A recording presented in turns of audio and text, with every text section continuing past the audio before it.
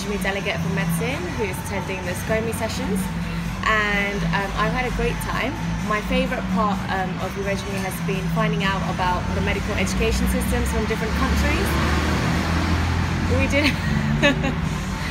we brainstormed the um, strengths and weaknesses of um, each medical education system from around Europe, and it was really good to see how different people um, have benefited from what their medical education system does and how we can change the UK system to benefit our students even more.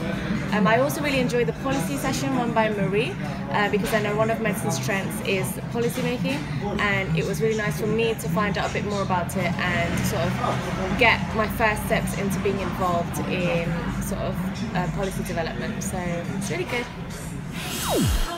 Sarah. I was the UK delegate to SCOPH, the Standing Committee for Public Health, this year in Greece at EuRegMe. It was my first IFMSA meeting and it was absolutely incredible.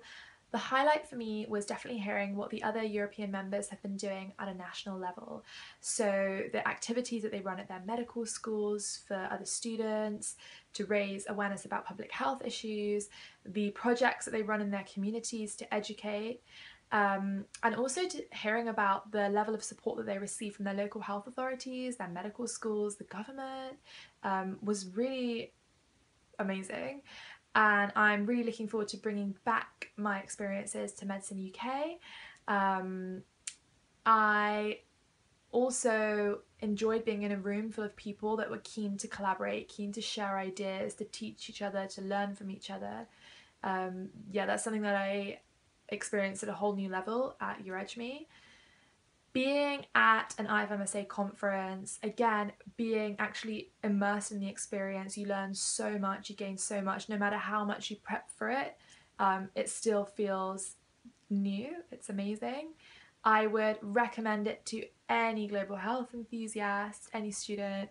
It's an incredible experience. You gain so much, you can contribute so much, and you meet and get to know like a really fantastic bunch of people. So apply for IFMSA meetings for sure. Hi, my name is Liban Ahmed and I'm the, the lead delegate at this EuRegMe 2016 in Greece, Thessaloniki. And lead delegate means that I went to the president's sessions and um, it was really interesting because we spoke about the European strategy a lot so I got a chance to input what Medsin's viewpoint on it was. So I like looked at what we'd written in our long-term development plan and tried to get the similar themes that we'd get in like implemented across the whole European network. So they've got an idea of where we want to go as well in the next three years. Also, we discussed um, some of the policy statements that had been submitted prior and broke out into small circles to have a discussion on that.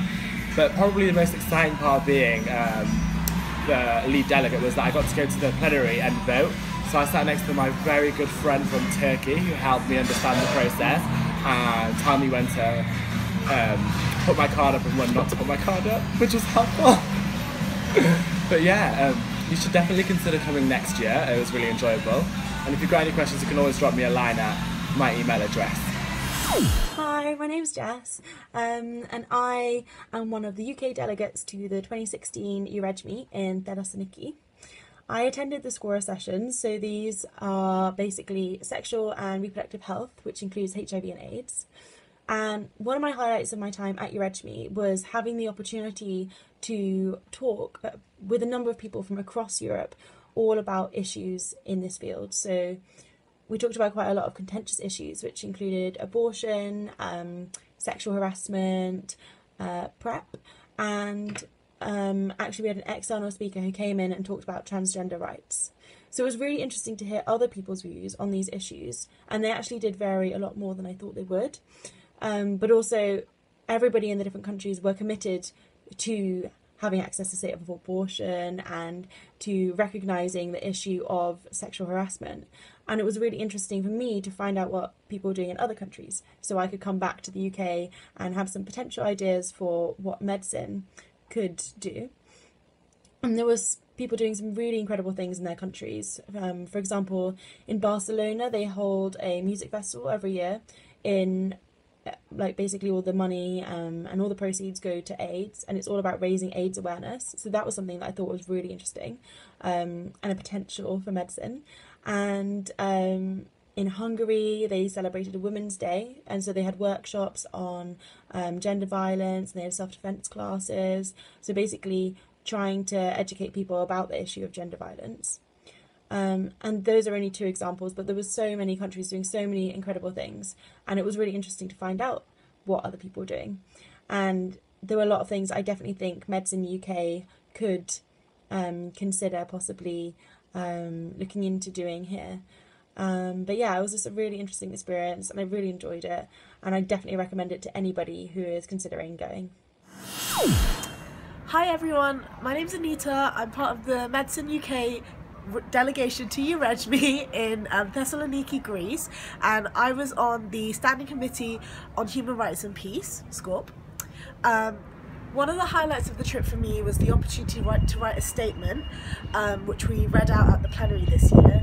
Uh, it was such an amazing learning experience for me and the chance to just learn so much from other people who were so passionate about a similar issue, which the, what we were talking about was refugees and the EU-Turkey deal, um, and just learning from people who are a lot more experienced in policy writing was great. Um, and Maya and Alice, thank you so much for teaching me. You were amazing. I love Sweden.